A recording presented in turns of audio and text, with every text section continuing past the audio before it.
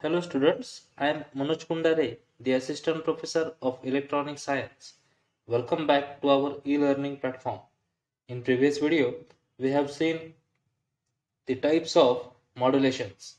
In that video, we have also seen the modulation and demodulation technique. The link of the previous video is available in the description box. Please check it. Now, in this video, we are going to see the concept pulse code modulation.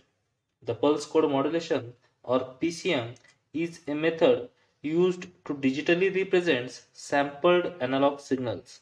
The PCM output is in the coded digital form. It is in the form of digital pulses of constant amplitude, width and position. The information transmitted in form of code words. A PCM system consists of a PCM encoder that is transmitter and a PCM decoder that is receiver. The essential operations in PCM transmitter are sampling, quantizing and encoding. That is, the PCM is a digital technique of the modulation okay in which the output of the PCM is encoded digital form. Let's see the process in the PCM, the first process is sampling process. If the message signal is analog in nature, that is our speech or video, then it required to convert it into a discrete time signal. For that purpose, the sampling process is used. By using sampling process, we convert continuous time signal into discrete time signal. That means if our analog signal like video, normal human speech is analog in nature, then we have to convert it into a discrete time that means in discontinuous signal. For example, here a continuous analog signal is shown which is given to the sampler and the output of the sampler is in the discrete time analog signal. Okay, I hope you all understand the difference between continuous time analog signal and discrete time analog signal. Okay. The sampling process should satisfy the following requirements. Sampled signal should represent the original signal faithfully. We should be able to reconstruct the original signal from its sampled version. Okay.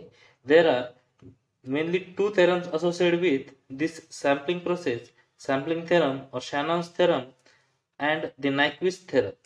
Let's see the statement of both theorem. First one is sampling theorem or the Shannon's sampling theorem. Its statement is a continuous time signal can be represented in its samples and can be recovered back when the sampling frequency fs is greater than or equal to the twice of the highest frequency component of the message signal that is fs greater than or equal to twice fm. That means this theorem states that the sampling frequency should be equal to or greater than the twice of highest frequency component to reconstruct or to recover the original signal. Okay. And the next theorem is the Nyquist theorem. The Nyquist theorem states that to produce the original analog signal, the samples rate must be at least twice the highest frequency in the original signal. That means the Nyquist rate is equal to 2 into f max where f max is the maximum frequency component. Nyquist rate is also called as Nyquist sample rate. Sampling rate is inverse of sampling interval.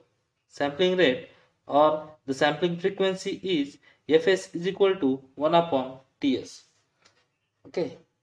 These are the two theorems associated with the sampling process and in general these two theorems are similar in nature.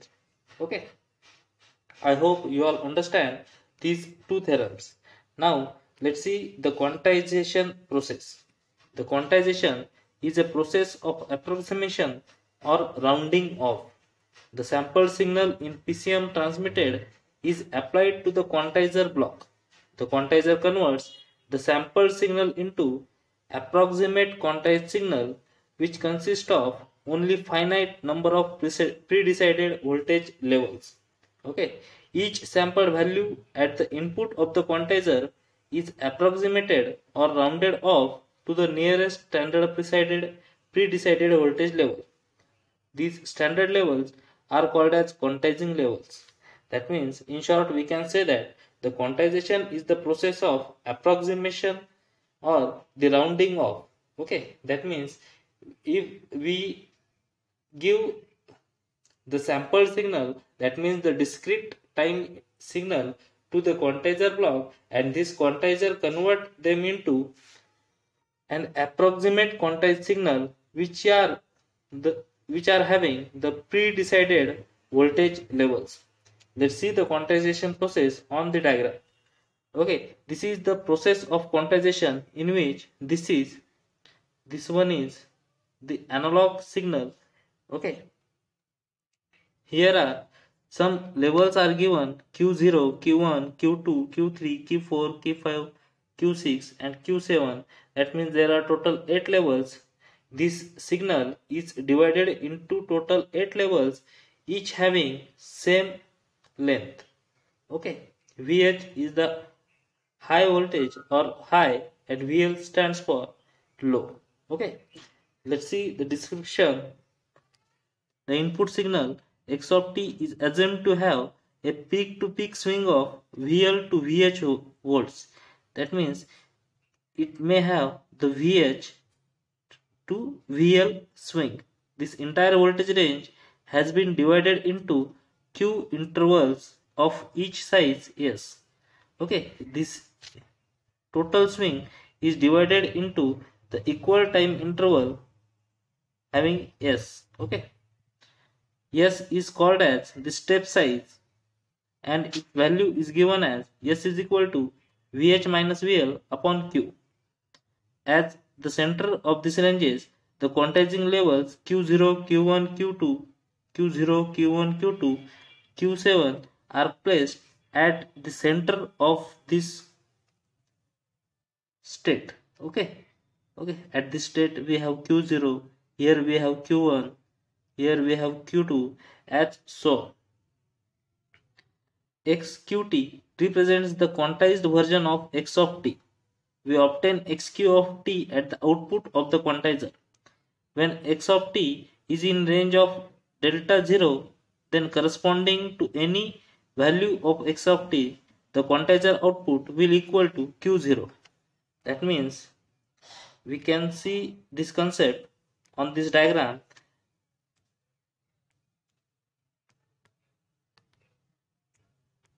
sorry on this diagram here if the range is here any at any range it is rounded off to the q0 value if the value is between this range then it is rounded off to this value if the value is present between these two range then this is quantized or approximated at this value i hope you all understand the concept of quantization or rounding of process.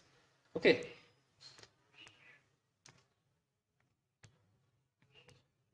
Now, let's see the PCM transmitter or the PCM encoder. This is the block diagram and waveform of PCM encoder or transmitter. In this block diagram, we can see number of blocks such as low pass filter, sample and hold circuit, quantizer, encoder, parallel to serial converter and pulse generator. This is the continuous time signal. This is pulse generator output. This is flat top PAM. This is the quantized PAM and it is the PCM output. Let's see the details about it in detail. Operation of PCM transmitter or encoder. The analog signal or the X of t is given to the low pass filter which has the cutoff frequency fc is equal to w hertz. That means or that is x of t will not have any frequency component higher than w. We know that the low pass filter can only allows the low frequency signal. The high frequency signals are eliminated from it.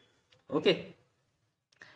For that purpose, the continuous time signal is given to the low pass filter.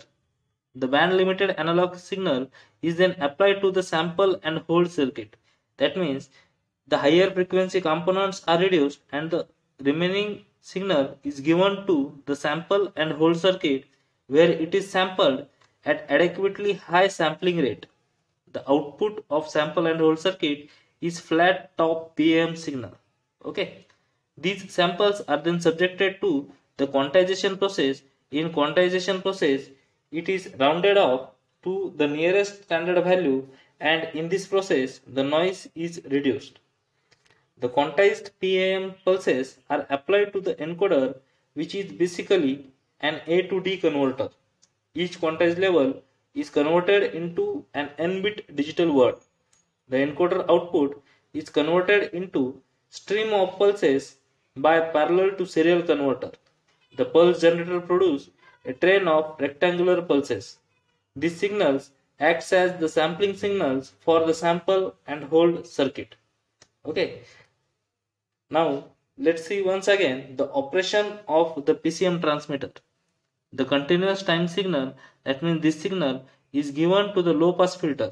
In low pass filter the higher frequency components are eliminated and the remaining frequency signal or the remaining band limited signal is given to the sample and hold circuit.